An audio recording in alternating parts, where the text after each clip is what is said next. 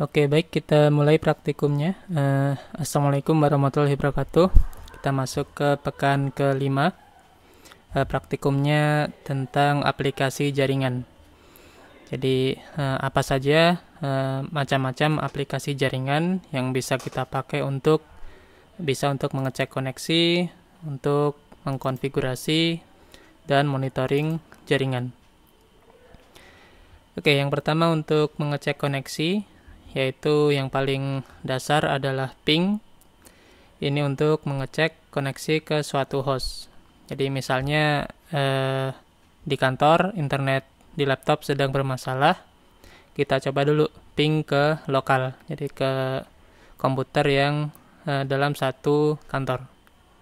Kalau yang ping ke lokalnya bermasalah, berarti masalahnya ada di lokal ya mungkin ada kabel yang putus atau uh, koneksinya yang kabelnya yang tercabut. Itu bisa dicek di lokal dulu. Kemudian kalau di lokal oke okay, berarti uh, tinggal ping keluar. Keluar dari rumah atau dari kantor.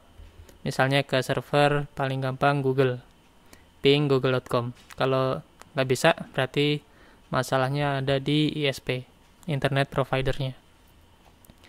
Oke, untuk ping ini memakai protokol ICMP di layer 3. Jadi layer 3 ada IP, kemudian ada protokol ICMP untuk e, membantu protokol IP. Jadi ICMP ini untuk debugnya. Terus e, jenis requestnya adalah ini echo request, ping, kemudian dari penerima dia akan membalas dengan echo reply. Ini pong. Jadi ping pong. Jadi nanti waktunya adalah round trip time. Dua kali. Dari sumber ke tujuan, terus dari tujuan membalas ke sumber.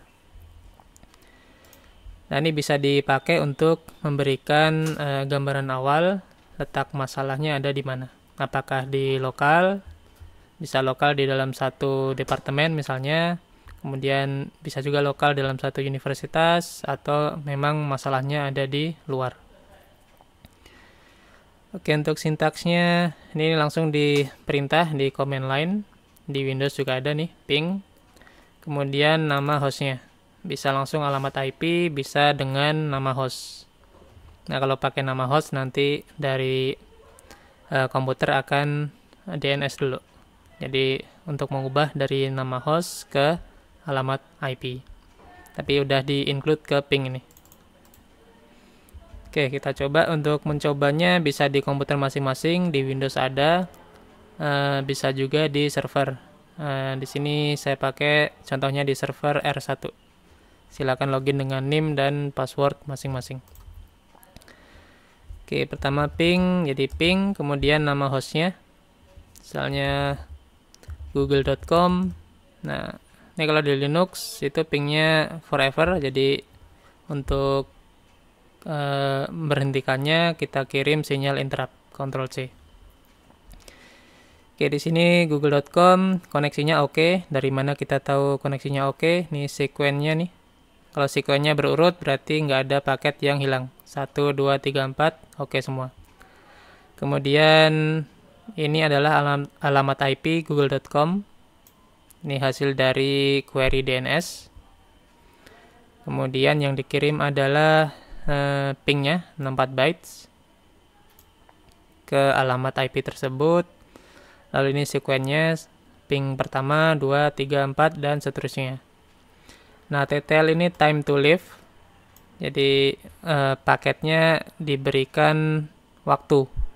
Berapa kali dia bisa uh, lompat antar router.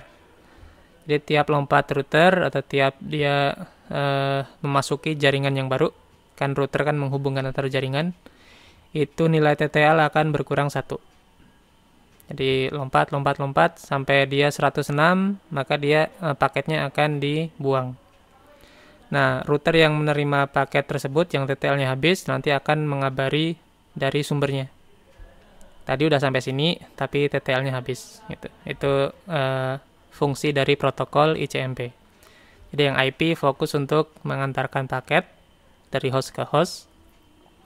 Kemudian untuk debugnya, kalau ada masalah itu tugasnya ICMP, protokol ICMP. Keduanya di layer 3. Lalu time ini RTT-nya, round trip time, waktu bolak-balik. Nah, 17 milisecond. Nah, ini kenapa bisa pendek? Kemarin kan kita hitung jarak dari kan Google ada di California tuh. Misalnya sekarang di Bogor ke California itu kalau dihitung kecepatan cahaya bolak-balik nggak mungkin nih sampai 17 milisecond. Harusnya lebih ratusan milisecond. Nah, ini bisa seperti ini mungkin karena Google punya presence, uh, punya point of presence atau POP di uh, lokasi yang dekat dengan Indonesia. Mungkin dia punya server di Singapura. Jadi yang melayani request dari pelanggan Indonesia itu server dari Singapura. Ya, mungkin seperti itu. Oke, kemudian di sini statistiknya ada empat paket yang dikirim, empat paket diterima, berarti paket lossnya 0%. Kemudian ini waktu totalnya. Untuk di uh, sini tiap satu detik dia mengirim satu kali ping. Jadi kita kirim 4 paket, totalnya 3 detik. Kalau kita kirim 5 paket, ya totalnya 4 detik. Yang detik pertama ini kan langsung ngirim, jadi nggak ada delay. Delaynya berarti totalnya 3 detik. Kemudian ini rataan eh, ini minimum round trip time ini RTT minimum rataan kemudian maksimum kemudian deviasinya oke oke kita coba yang servernya benar-benar di US nah, kemarin saya nyoba Amazon. Nah ini udah waktunya udah make sense nih kalau Amazon nih. Nah. nah, sekitar 250 milisecond seperempat detik bolak-balik. Jadi dia servernya benar-benar dari US nih. S3 konsol US nah itu jadi Amazon juga punya point of presence yang banyak. Dia punya server di US kemudian di Singapura juga ada. Tapi uh, untuk yang server utamanya Amazon.com itu di serve-nya dari server dari US mungkin kalau amazon.sg gitu mungkin beda. Silakan dicoba. Oke itu yang ping. E, kalau dari komputer lokal itu lebih cepat lagi. Misalnya saya ping uh, eh, ipb.ac.id ini kan saya lagi di kampus nih. Nah 1 milisecond 2 milisecond.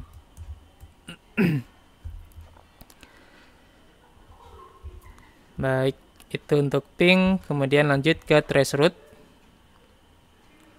nah untuk trace route ini uh, dia akan ngetrace router mana saja yang sudah dilewati dari paket yang kita kirim. Caranya bagaimana? Yaitu dengan uh, mengirim paket uh, di set TTL-nya yang pertama TTL-nya satu berarti dia cuma bisa lompat sekali. Terus dia uh, router yang kebagian TTL-nya habis dia akan mengabari ke sumber. Tadi paketnya nyampe sini TTL-nya habis. Udah terus TTL-nya di set 2 nanti dia bisa lompat dua kali paketnya terus TTL-nya di set 3 dan seterusnya sampai ya sampai ke tujuan jadi kayak looping dari TTL-nya 1, 2, 3 dan seterusnya loopingnya berhenti kalau paketnya sudah sampai di tujuan Oke, itu trace root. Kita coba di sini trace root. Kalau di Windows itu trace RT kalau nggak salah. Silakan dicoba. Misalnya saya mau ke server IPB, nah dia lompat empat kali gitu. Berarti antara saya di Ilkom ke server pusat di IPB itu ada empat jaringan yang harus dilewati. Nah, ini adalah alamat routernya nih. Ini alamat routernya. Kemudian dari tiap router dia kirim uh, ping tiga kali. Jadi trace route itu cara kerjanya adalah mengirim ping dengan TTL yang dimodif. TTL-nya satu berarti dia cuma bisa lompat sekali, TTL-nya dua, TTL-nya tiga dan seterusnya. Terus tiap kirim itu uh, tiga kali. Jadi nanti ada tiga waktu ini. nah ini uh, ya seperti itu kemudian itu yang server lokal. Kemudian yang server misalnya di luar misalnya google.com nanti bisa lama. Bisa berapa kali nih dia lompat. Mungkin ke ISP-nya dulu ini ISP-nya Indosat. Nah dari Indosat baru ke Google-nya. Terus yang bintang-bintang-bintang ini berarti nggak ditemukan waktunya. Atau gimana ya? Jadi ada yang uh, server yang di set atau router yang di set untuk mengeblok paket ping. Ada juga server juga bisa di set untuk mengeblok paket ping.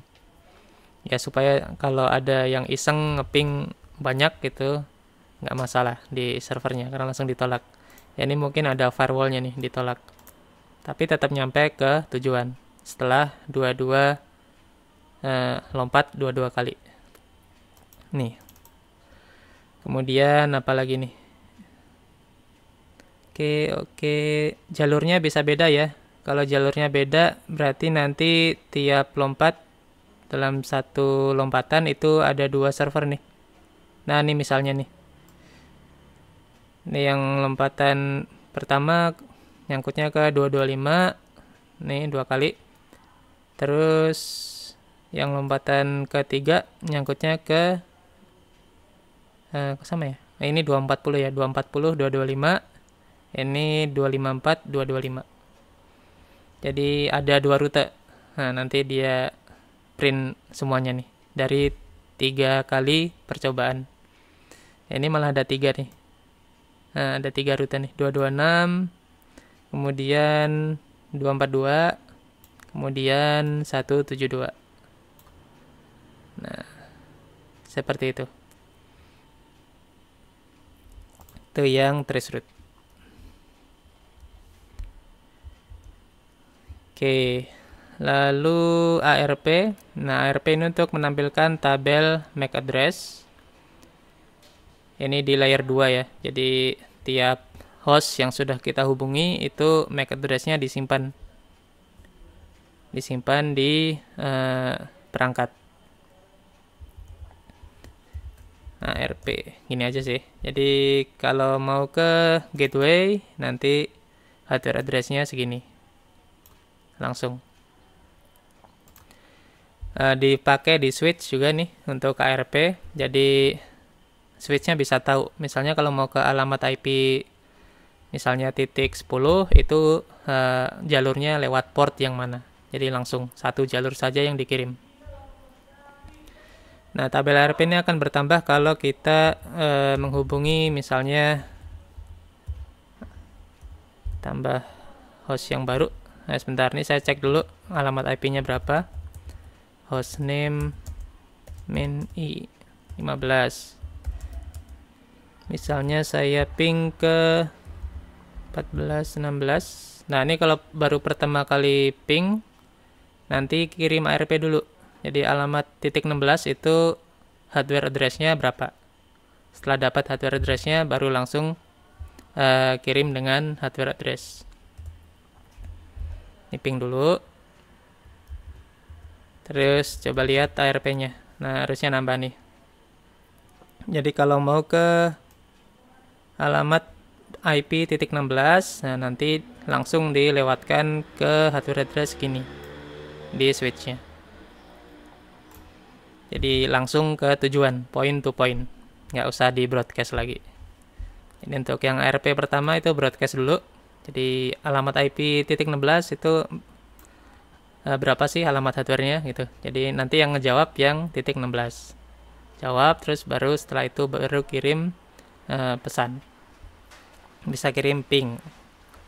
Kalau belum pernah kenalan ARP dulu. Misalnya di sini belum ada titik 14. Terus saya ping. Nah, ini sebenarnya nih ARP dulu nih. ARP dulu. Nah, ini nggak ada. Ternyata nggak ada. ARP-nya gagal. Nah, incomplete ini berarti gagal. Pernah ngeping tapi nggak ada yang ngebales. Terus berapa yang ada ya?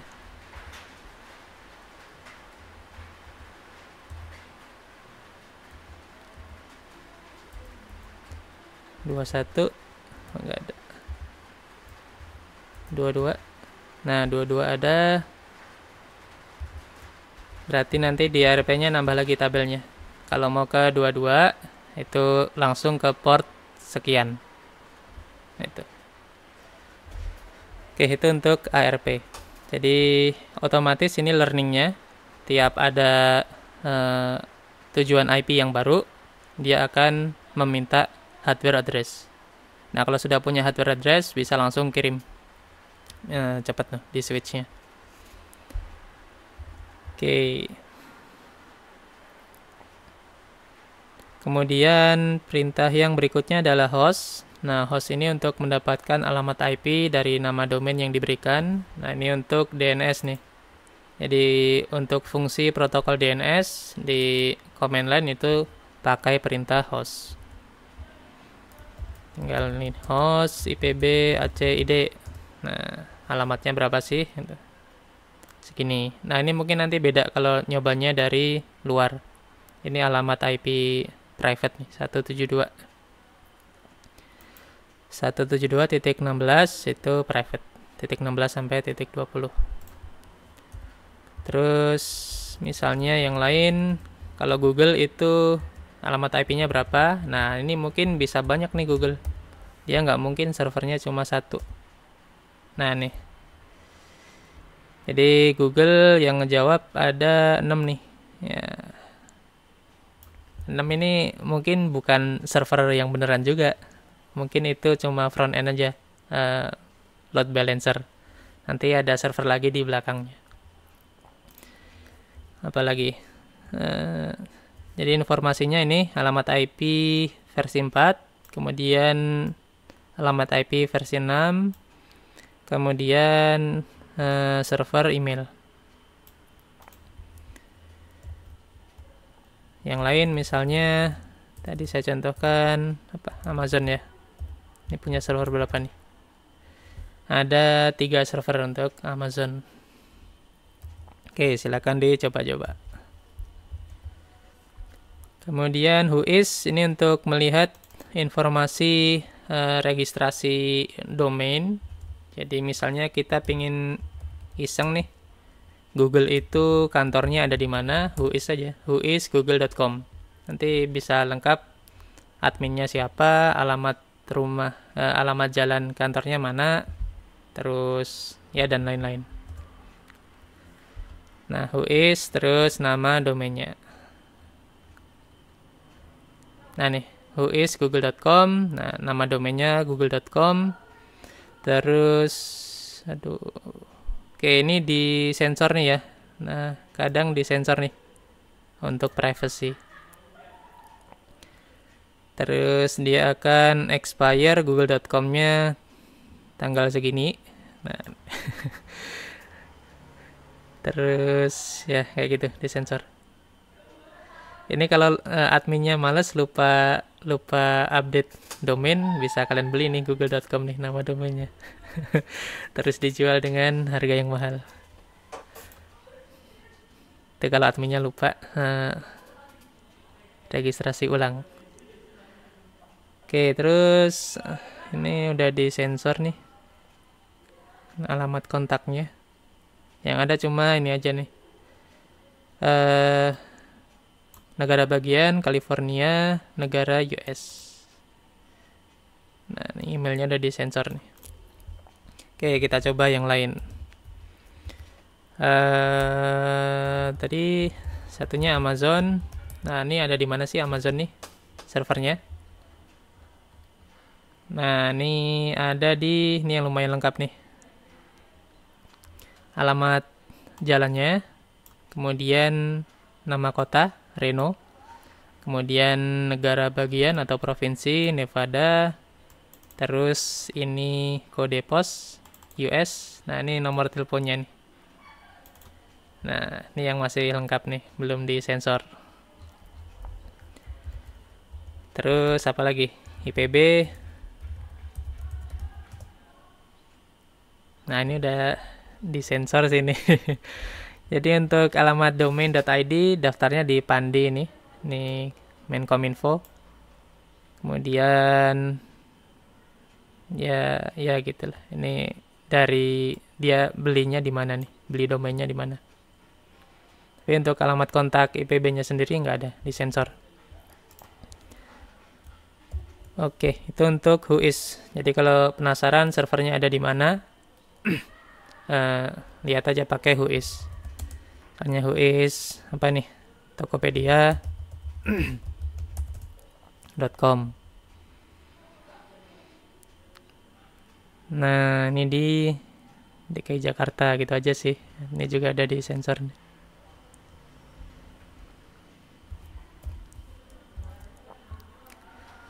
Oke, lanjut uh, Nmap. Nah, Nmap ini biasanya dipakai untuk uh, mengetahui port mana saja yang terbuka.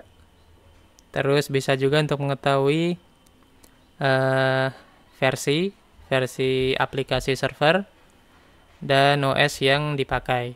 Nah, kalau misalnya servernya jadul, uh, aplikasinya jadul itu bisa dijebol kalau adminnya males ngupdate. Oke, ini contohnya ini di film Matrix nih. Nah, pakai nmap. Nah, contoh aja nih.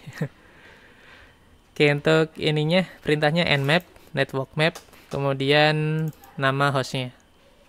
Bisa juga range IP, kita ingin ngecek suatu jaringan dari alamat titik 1 sampai titik 254 itu juga bisa. Kemudian ada opsi main A ini untuk pengecekan lebih lanjut kita coba misalnya CS IPB ACID nah ini dia install apa aja nih? Port apa saja yang terbuka? Ini ada SSH port 22 untuk login remote. Kemudian ada HTTP dan HTTPS ya ini kan server web nih. Kemudian ada MySQL. Nah, ini agak bahaya nih untuk membuka MySQL nih 3306.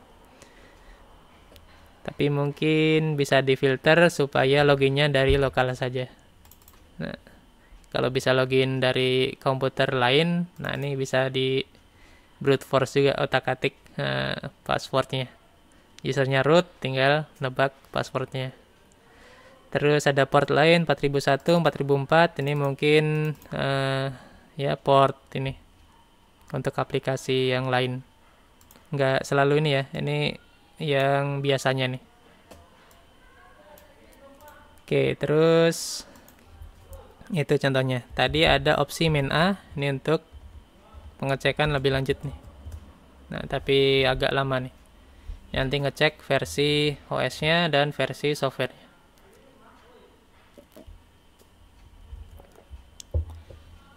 Oke, sambil nunggu.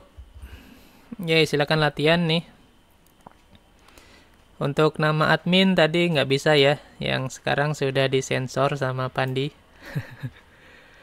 Dulu ada adminnya siapa ya? Lupa saya. Pak Fauzan nggak salah. Terus alamat jalan dan sampai lengkap. Terus port apa saja ya silakan dicek pakai Nmap. Kemudian dari situ uh, pengecekan lebih lanjut. Jadi kita bisa tahu OS yang dipakai apa, versi softwarenya berapa. Misalnya Apache versi berapa, SSH versi berapa.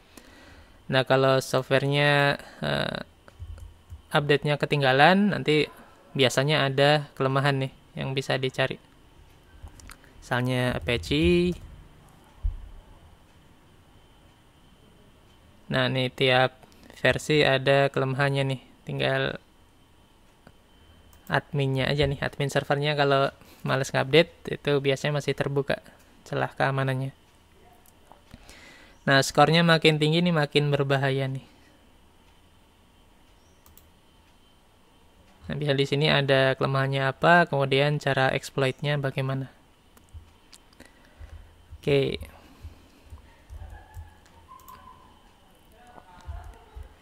Oke, ini udah nih yang tadi nmap main A yang ini laporannya. Yang terbuka adalah eh, tadi SSH, kemudian ini versinya Open SSH 7.2, kemudian HTTP pakai Nginx 1.10, HTTPS juga. Kemudian MySQL versi 5.7. Apalagi nih yang baru nih. Terus 4001 ternyata uh, Apache HTTPD. Nah, mungkin dia pasang uh, ini apa? VM virtual machine. Terus port forwardnya ke 4001. Oke, kemudian di sini nggak ada info OS-nya, OS-nya Linux. Pakai apa? Itu bisa dilihat di sini nih. Misalnya MySQL versi sekian. Terus ini Ubuntu nih pasti. Ubuntu 16.04 nah bisa di invert dari sini versi softwarenya. Oke itu yang Nmap. Oke lanjut ke untuk aplikasi. Di yang pertama adalah si URL nah ini bisa untuk kemarin kan kita pakai protokol aplikasi langsung ya pakai netcat atau OpenSSL. Ini yang lebih mudah. Ya relatif lebih mudah pakai si URL bisa untuk HTTP, FTP, SMTP dan seterusnya. Oke ini contohnya si URL ini yang contoh-contoh kemarin saya buat uh, versi si URL-nya kayak gini. Nah, kemarin kan ini uh, redirect 301 uh, move ke yang HTTPS. Nah, tinggal ditambahkan HTTPS. Nanti otomatis dia akan menyesuaikan URL-nya pakai protokol HTTPS. Nah, ini kontennya nih. Kemudian bisa juga untuk Nah, ini masih get nih. Ini yang kemarin ke API untuk nilai tukar eh, US dollar. Oke, ini keluarannya format JSON. Jadi ya langsung aja kan gini sebaris bisa di uh, pretty print biar ngeprintnya lebih cantik nih pakai JQ. Nah, sekarang berapa nih nilai tukar USD ke Indonesia nih? 1 US sekarang 14.400 rupiah. Oke, itu yang uh, get. Kemudian yang post uh, si URL, kemudian URL-nya. Kemudian untuk datanya pakai opsi data. Minus-minus data. strip-strip data. Kemudian ini parameternya nih. Nah, Oke, bisa dicoba untuk uh, ngeposting. Nah, kita nggak usah menyesuaikan ininya apa. Kemarin kan ada content length gitu kan. Ini langsung aja nih. Langsung diubah, terus pesannya juga langsung diubah.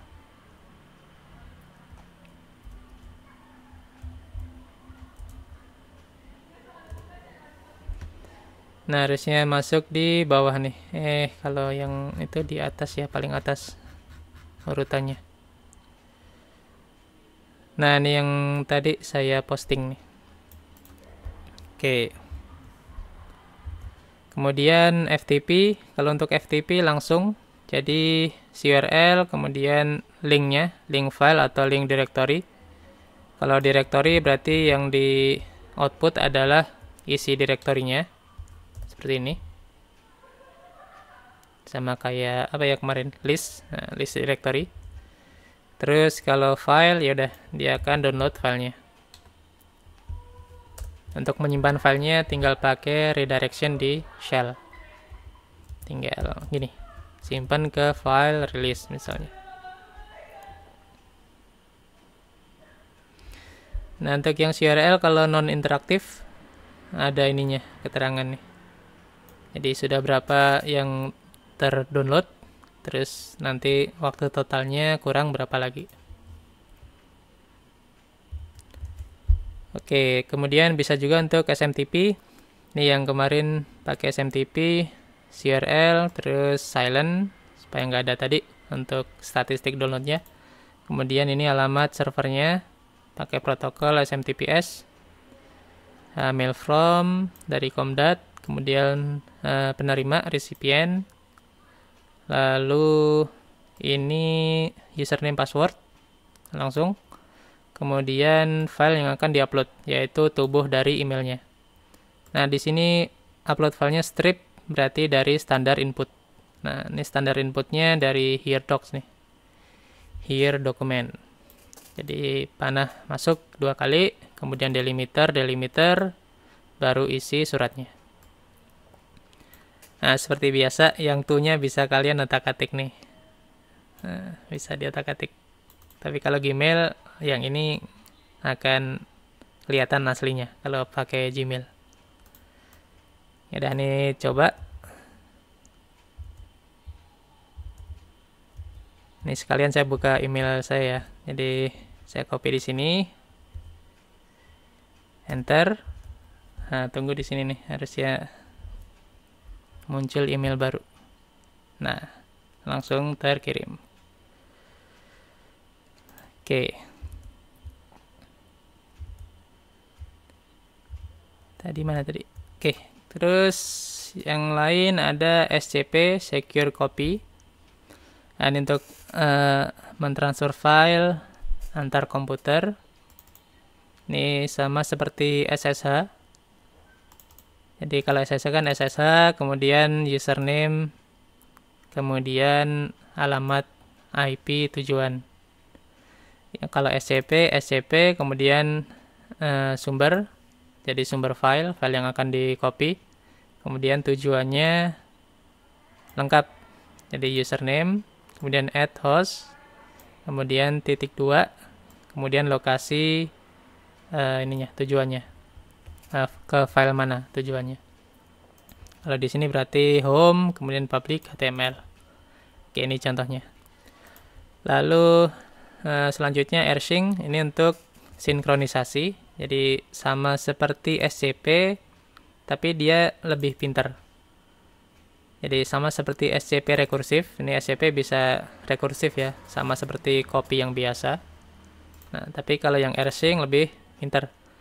Dia cek dulu uh, perbedaan file, jadi perbedaan struktur directory dan file dari komputer sumber ke komputer tujuan Kemudian kalau ada yang beda, yang dikirim hanya yang beda, yang bedanya saja. Jadi nggak semuanya ditransfer. Ini untuk sinkronisasi. Oke. Apa lagi ya? Udah itu aja untuk uh, contoh aplikasi untuk transfer. Lalu untuk monitoring ada netstat yang komen lainnya. Netstat kayak gini defaultnya dia akan menampilkan semua koneksi TCP, UDP kemudian apa lagi? Unix socket. Kalau Unix socket ini socket antar proses di dalam satu komputer kemudian untuk menampilkan koneksi TCP yang sedang aktif nah ini kan tadi tampilannya banyak nih kalau netset aja untuk menampilkan yang TCP saja pakai main T. Nah, TCP. Banyak juga ya. Ini karena saya lagi akses yang sini nih, R1 nih.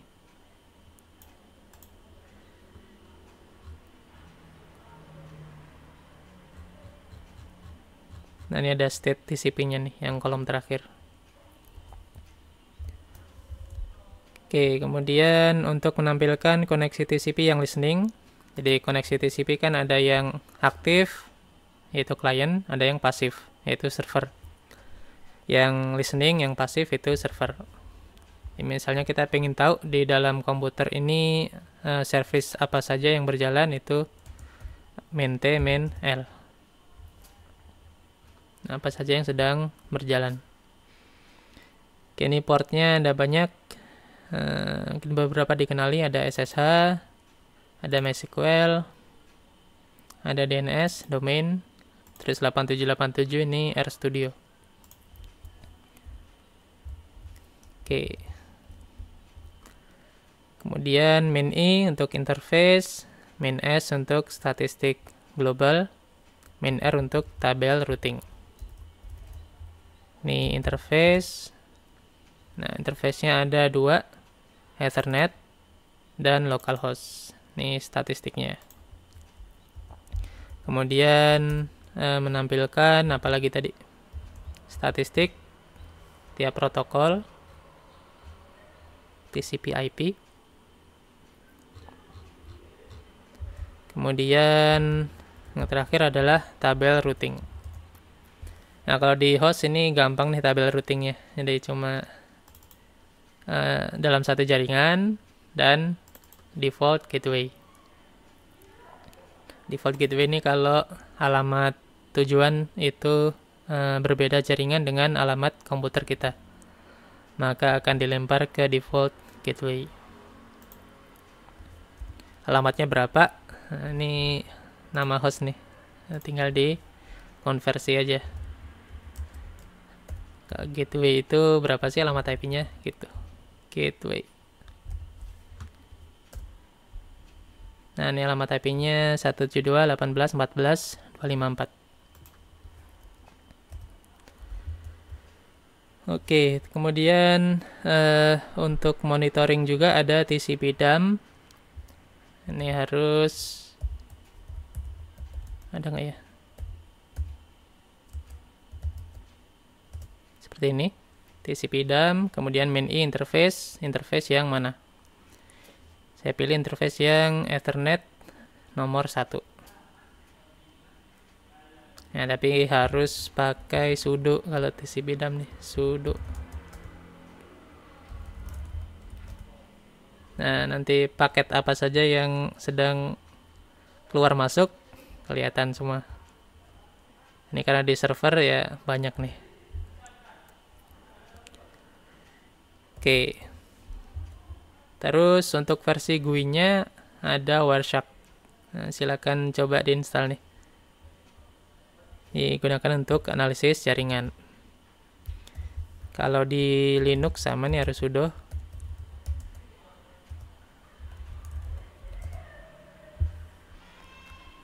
Kemudian nah di sini ada macam-macam interface-nya nih.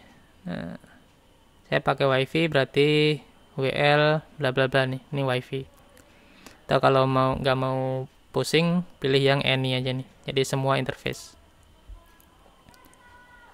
Oke silakan di double klik. Nah ini paket yang sedang berjalan nih. Ini sebagian besar ke server R nya yang dia jalan terus dia. Terus kalau sudah selesai di stop. Kalau mau capture ulang klik capture lagi. Ini yang lama saya buang aja kalau mau di save silahkan di save begitu oke.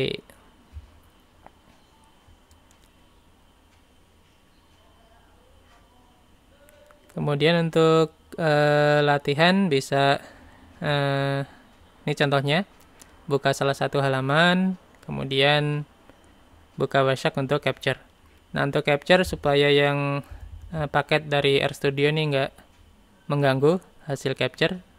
Ini kan dia tiap saya ngetikin karakter kirim paket nih ke servernya. Nah ini nanti paketnya banyak. Ini saya keluar dulu nih. Kemudian saya contohkan yang capture dengan Wireshark. Ini di stop dulu udah. Kemudian Nah ini udah nih, nanti tinggal di start lagi. Coba saya cek dulu, ini harusnya nggak ada paket yang lalu lalang. Oke nih ya. Eh ada juga nih. Dari email google.com. Google ngapain di belakang ya? Tadi saya buka Google ya. Nah ini. Ini saya tutup dulu. Coba capture ulang. Harusnya udah senyap nih. Kalau ada lagi berarti ada yang di belakang nih uh, ngirim data.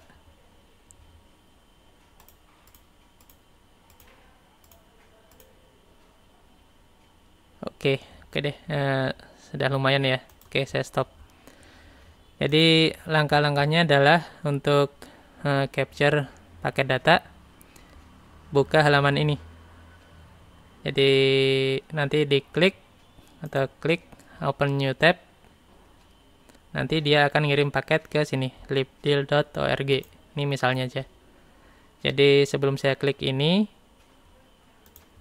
capture-nya saya nyalakan nih. Jadi klik capture. Nih continue without saving dulu terus langsung nih uh, buka ini libdeal.org udah sampai full terus di stop nah ada tuh sekali capture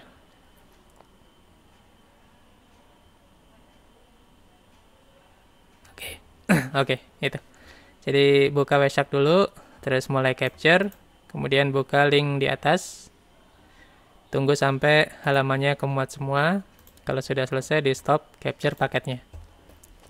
Supaya nggak banyak paket lain yang uh, ke capture. Oke, di sini kita amati tadi teorinya kan yang pertama adalah uh, dari browser buka libdeal.org.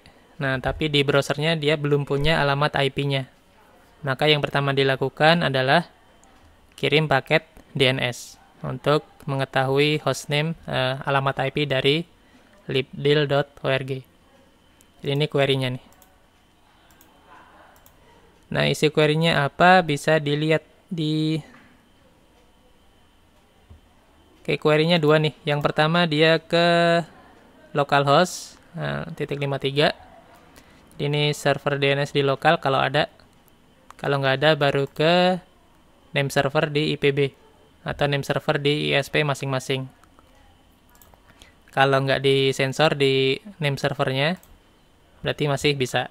Nah, biasanya ISP akan menyensor uh, situs tertentu di server DNS-nya, di name servernya. Oke, isinya bisa dilihat di sini. Jadi dari layer 2, ini frame, frame Ethernet. Bisa dilihat uh,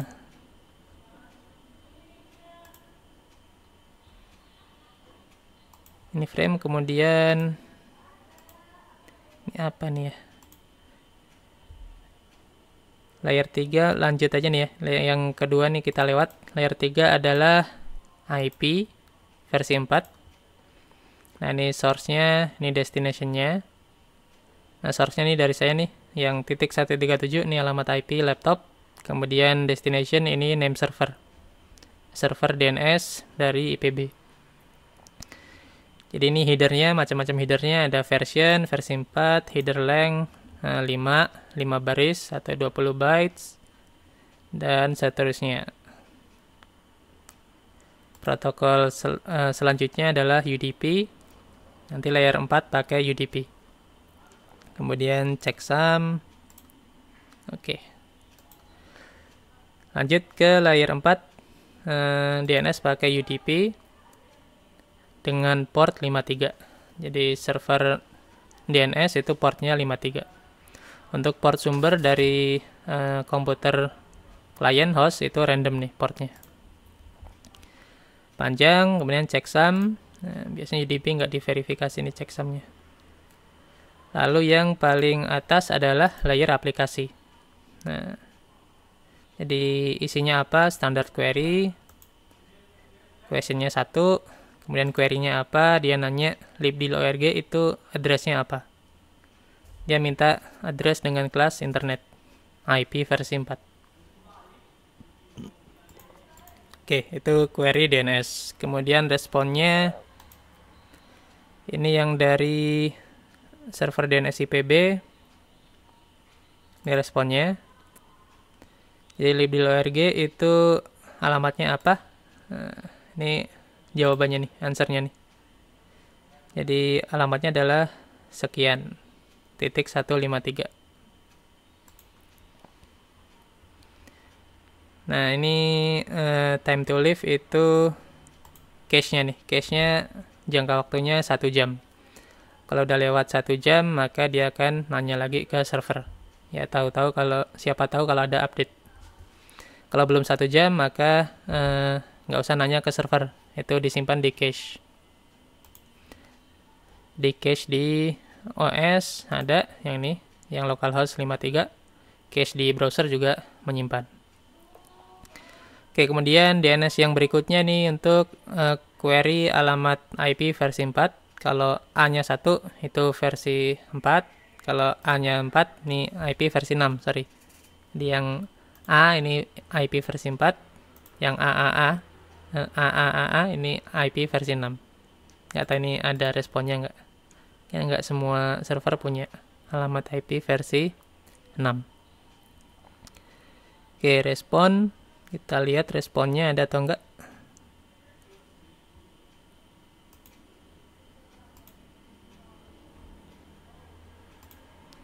Di query, kemudian respon.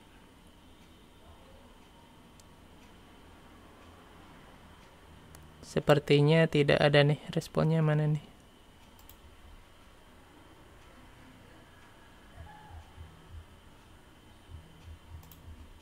Nah, sepertinya yang libdil.org ini tidak punya alamat IP versi 6. Oke, itu yang biru DNS. Kalau sudah dapat alamat IP-nya, baru bisa komunikasi data. Nah, komunikasi datanya eh, tadi kan halaman web, berarti pakai HTTP. Di bawahnya HTTP, dia pakai TCP. Berarti TCP dulu yang handshake. Ini yang handshake-nya nih. Synchronize nggak tahu ini kenapa dua kali ini synchronize kemudian synchronize ACK synchronize dari klien dari dari server balas synchronize sekaligus ACK dari klien uh, ke klien kemudian dari klien ACK lagi ini three way handshake uh, eh, TCP nah nih three way handshake oke setelah handshake, setelah setup koneksi baru kirim HTTP. Nah, ini HTTP-nya. Get uh, root HTTP 1. Terus ini baru bertukar data nih. Jadi yang pertama adalah setup dulu baru bertukar data. Ini dari klien uh, metodenya get, requestnya get. Nah, ini dari server responnya adalah 200 oke. Okay. Kemudian kirim uh, eh, HTML-nya. Kemudian udah sih itu saja. Ini nggak tahu nih kenapa DNS lagi nih.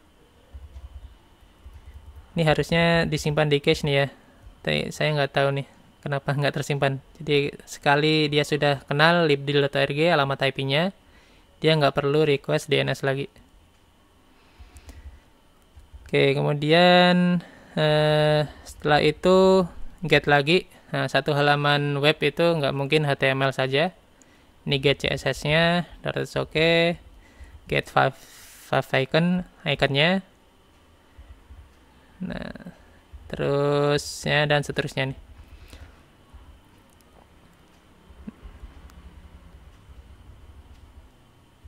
Oke, itu untuk yang contohnya. Jadi DNS dulu untuk mendapat uh, alamat IP dari nama domain. Kemudian kalau sudah TCP handshake, ya, karena HTTP pakai TCP berarti handshake dulu di awal, kemudian baru bisa bertukar data. Jadi uh, request response. Oke itu contoh untuk capture data.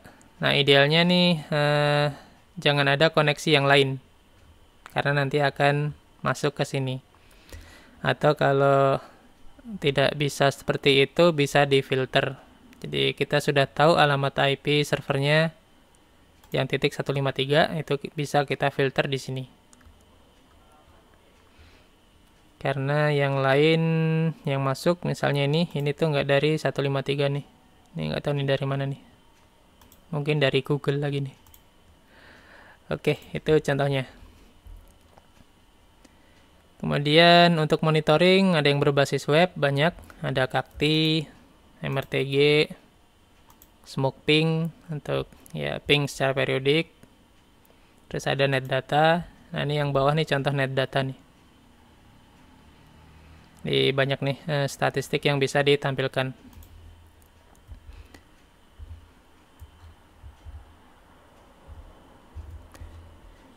Oke, itu saja untuk praktikumnya, materinya. Uh, apalagi ya tugas ini nggak bisa nih jadi rencananya kalau tahun kemarin itu ke 1113 nih yang login IPB ini kan pakai HTTP nih jadi password yang kalian ketikan itu bisa disadap dan bisa diambil. Nah tinggal kita tahu aja tuh parameternya apa saja. Nah untuk untuk bisa tahu parameternya di di capture pakai Wireshark dari form yang kita ketikan itu yang dikirim tuh apa sebenarnya? Yang di post kalau sudah tahu parameternya kita bisa login otomatis pakai URL nah ini yang saya lakukan di server karena kalau mau connect ke internet harus login ke IPB nah itu kalau di server kan nggak mungkin ada tampilannya biasanya server tuh headless nggak pakai monitor Nah, untuk uh, mengakalinya saya pakai URL ke 113 untuk login otomatis. Kalau sudah tahu parameter yang uh, ada di situ di form tersebut. Nah, contoh parameter yang tadi saat URL ke form ke post nih. Nah, nih. Nih kalau ada main data berarti tipe metodenya adalah post. Nah, ini parameternya nih. Ada nama, email dan seterusnya. Oke, itu saja untuk uh, materinya. Ini ada bonus, silakan dicoba. Ini ada film nih, bonus film Star Wars. Nah, silakan dilihat dalam bentuk teks. Oke, itu saja untuk praktikum pekan ini. Uh, terima kasih. Assalamualaikum warahmatullahi wabarakatuh.